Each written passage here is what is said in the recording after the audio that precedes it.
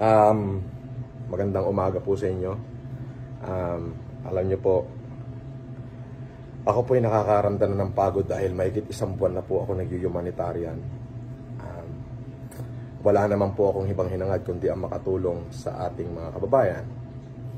Uh, ni minsan, hindi ko hinangad yon na manakit ng tao. Ngunit ang akin lamang pong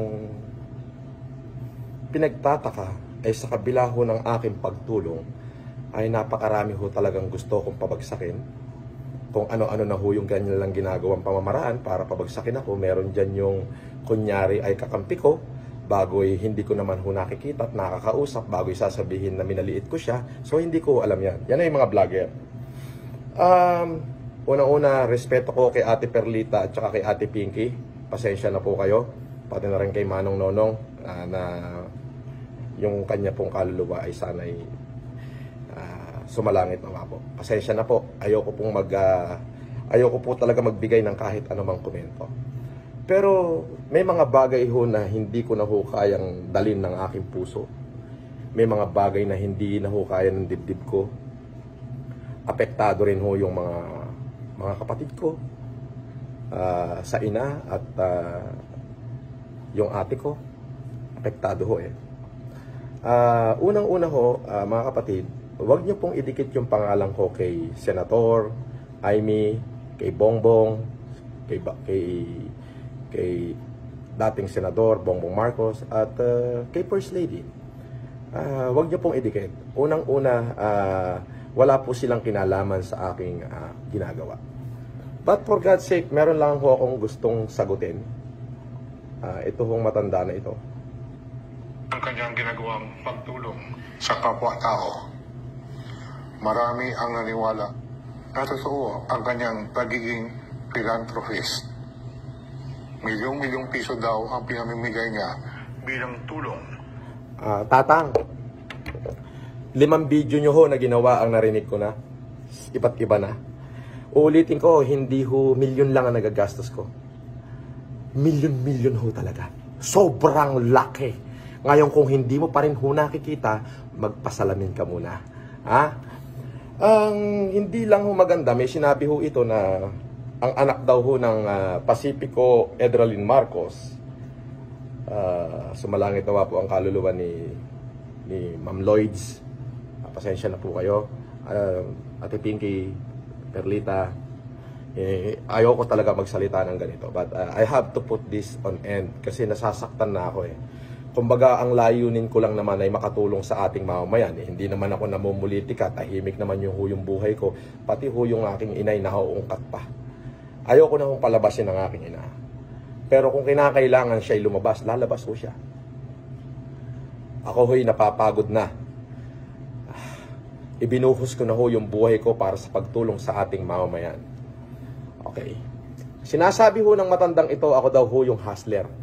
Oo, hustler ako sa pagtulong sa kapwa ko. May isa hong coach na sinasabi na ang ginagamit ko daw ho ay pera ni Bernard Chong. Coach, kung sino ka man, ayaw na kitang pangalan. Ano ba pangalan mo? Si Bernard Chong ang may utang sa akin. Kahit pumunta ka sa kanya, ha, at magtanong ka. At kapag sinabi niyang ako wala, ah, siya walang utang sa akin, pag-uuntugin ko kayong dalawa. Okay? Ilalabas ko sa iyo yung mga dokumento na si Bernard Chong pa ang may utang sa akin. So, manahimik ka, Coach Sharon. Okay? Tapusin na natin to, for God's sake. Itong akusasyon ng matandang to, dami ko narinig na ang sasakit na salita na pinagbibitawan ng matandang to, na ako raw ay isang hustler. Hustler ho ako sa pagtulong sa kapwa-tao dahil magmula ho nung nagkaisip ako, ng 22 anyos ho ako, wala na ho akong ginawa kundi mag-humanitarian sa sarili kong kakayahan. Ako lamang ho ay nabigyan ng Panginoon na sapat ng kaisipan, masipag na katawan, kaya ho ako'y umunlad ng ganito. Siyempre, kasama na rin ho yung mga ibinigay sa akin. Ngayon, kung sinasabi nyo na tatlo lang ang anak ni Pacifico, Edralyn Marcos, o sasabihin ko sa iyo, anim. Pwede ko pa hong pangalanan lahat ng anim. So, kung hindi mo alam, take So, kung hindi mo alam, take yung source mo. Yung source mo yung fake.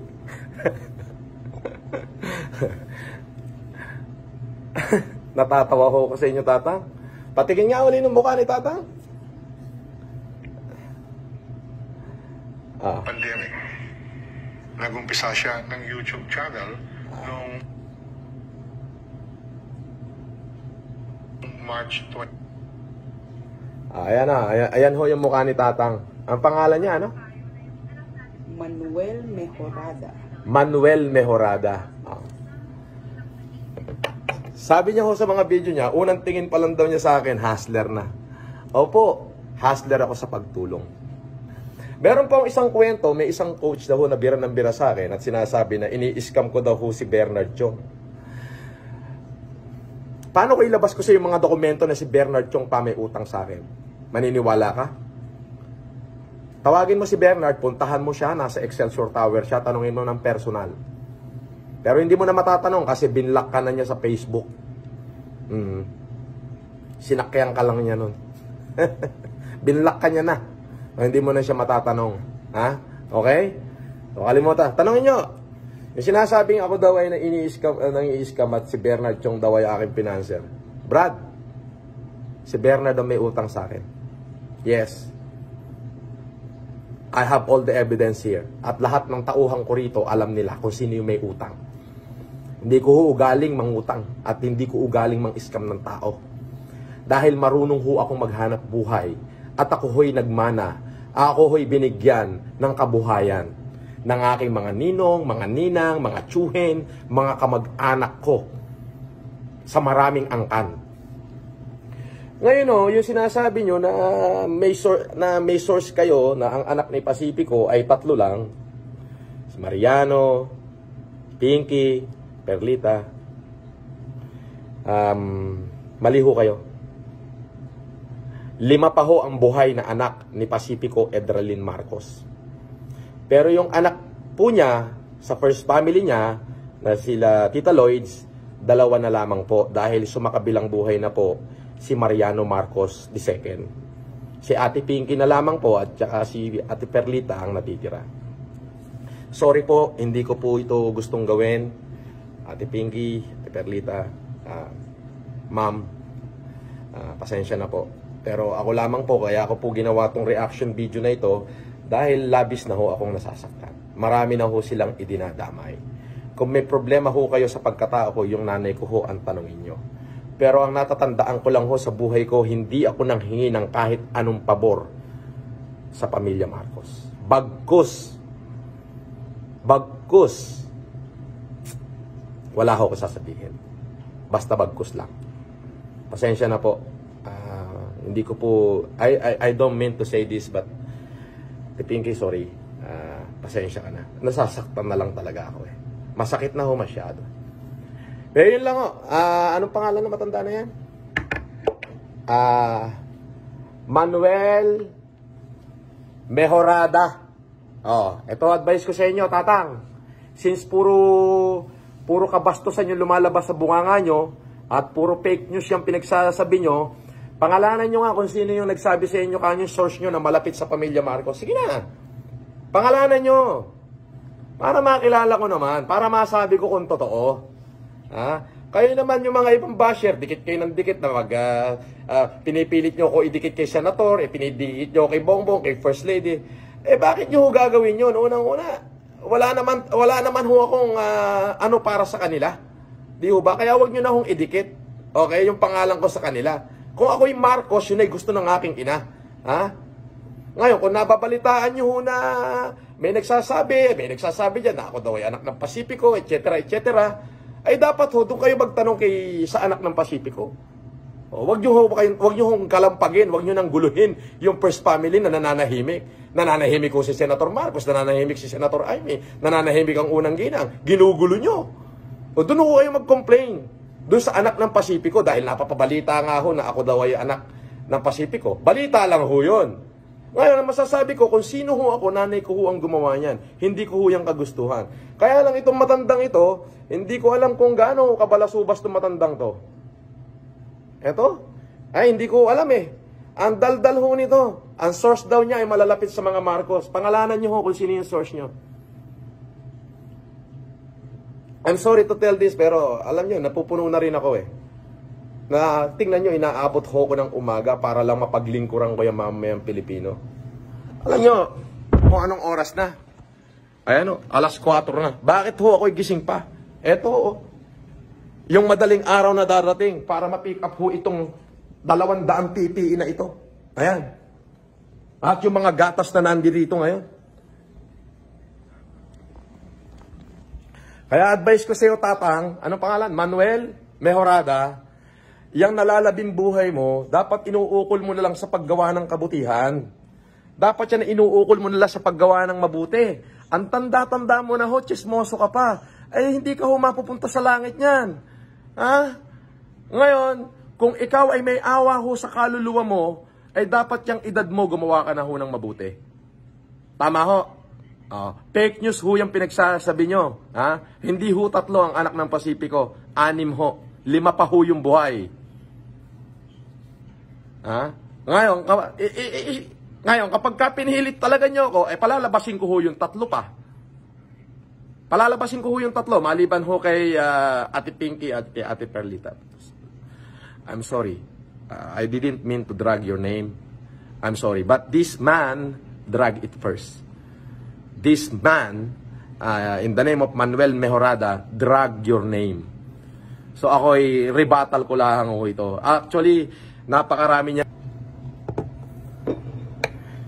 Um, ayun. Once again, Ate Pinky, Ate Perlita, alam ko nasa ibang bansa si Ate Perlita. Ate Pinky, sorry. I didn't really mean to drag your name, but this man in the name of Manuel Mejorada drag it first. So gagawin ko lang ho ito. Ito na yung first and last na magsasalita ako. I don't want to speak about Senator Marcos. He is a good leader. Yun lang masasabi ko. Senator Amy, ayoko magsalita. Ang alam ko lang, you're a good leader too. Yes, you're my inspiration too. First Lady, um, my respect to you is there. Sorry po Ate Pinky, hindi ko po ito gusto mangyari. Pero nasasaktan na ho ako sa pinagsasabi ng katandang to eh. Itong si Manuel Mejorada. Ito, pakita pa nga natin yung mukha nito isang beses pa. Ito. Yan. Nako. Tata. Bago pa kita kasuhan ng sandamakmak na kasong libelo, eh, itahi mo na yung bunganga mo. Ang advice ko na lang sa'yo, Tang, yung nalalabing buhay mo, ituon mo na lang sa paggawa ng mabuti sa tao.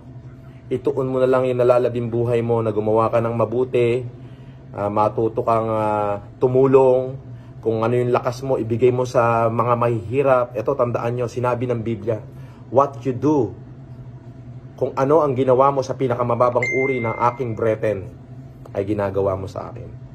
Ako po, wala naman ho ako ibang ibang hangarin kundi ang matul- makatulong. Eh binuhos ko na nga ho lahat, eh. lahat-lahat, all out na ako. Anim na raang tonelada na ho yung aking napapamigay. Siguro ang gatas ko na ipamigay ay libu-libong sa... Hindi ko na ho mabilang.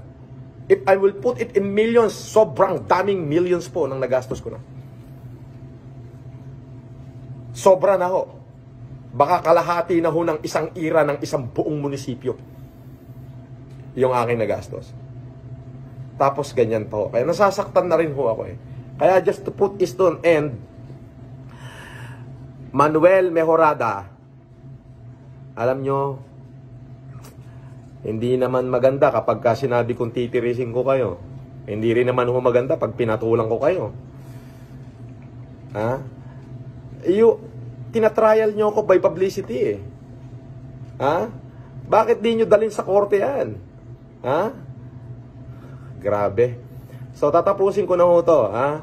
Ang, ang, ang akin na lang ako masasabi, itong matandang yan ay puro kasinungalingan at fake news ang pinagsasabi. Mhm. Ah, yung kanya, isa lamang ho ang source nila eh. Paulit-ulit eh, paikot-ikot. Oo. Yun ho, kasing aking mga litrato noon, may, mga, ah, alam nyo ho yung inedit-edit lang ho yan. Basta ito ho yan, ako ho, alam ng buong Pilipinas na ibinuhos ko yung sarili ko, lahat ng meron ako para sa mga Pilipino ngayong may epidemya. Yun po yun. So, Sir, ipinapanalangin kita. Ipinapanalangin kita na bigyan ka ng Diyos ng tamang kaisipan. Ipinapanalangin ko ang iyong kaluluwa na sana magkaroon ka ng upuan sa langit. Yun na lamang ho. Ah, pasensya na ho kayo, reaction video ko lang ito. Ipinapanalangin ko na magkaroon kayo ng upuan sa langit. Maraming maraming salamat po sa inyo. Ah, ipagpatuloy nyo po yung ginagawa nyo. Ha? Pagpatuloy nyo. Ah. At sana, at sana magkaroon kayo ng upuan sa langit. Ah. Pero little advice to you, tatang. Gumawa na ho kayo ng mabuti. Kakapraso na ho yung natitirang buhay sa inyo. Huwag nyo na hong sayangin sa walang katuturan. Baka sa impyerno ho kayo pumunta. Sa mga supporters ko, maraming maraming salamat sa inyo. Hindi po ako titigil sa pagtulong. Maraming salamat po.